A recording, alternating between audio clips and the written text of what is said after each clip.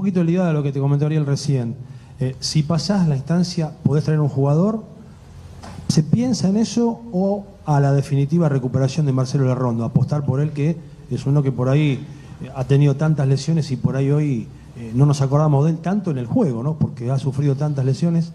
¿Se piensa en él, en recuperarlo definitivamente, o hay algún nombre dando vueltas que por ahí en semifinales podés traer? Y yo pienso en él porque la verdad que también ha sufrido un momento eh, muy, muy feo y porque tiene, eh, tiene muchísima bronca adentro de que le haya pasado todo esto y que no pueda desenvolverse también con, en condiciones normales.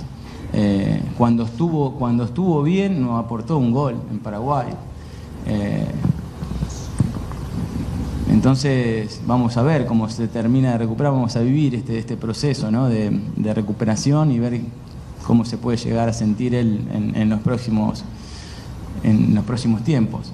Eh, y después evaluar posibilidades, no hay, no hay eh, posibilidades concretas para evaluar, sinceramente.